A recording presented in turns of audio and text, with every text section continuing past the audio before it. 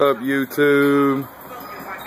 Haven't put up a video since before Christmas. Hope everybody had a Merry Christmas. I know I did. Here's what we're going to try to start working on this evening. Got 10 sheets, 3 quarter. Give us a nice little shell built at least.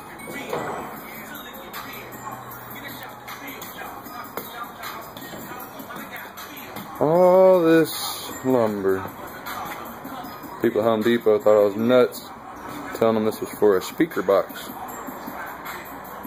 They only fucking knew. Yep, I'm excited. Get to get some experience with these four quarters. Thanks to a buddy named Kurt.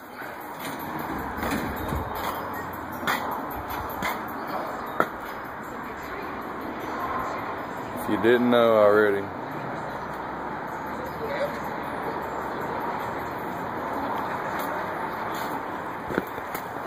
I'll post some videos of this build later. It's freezing.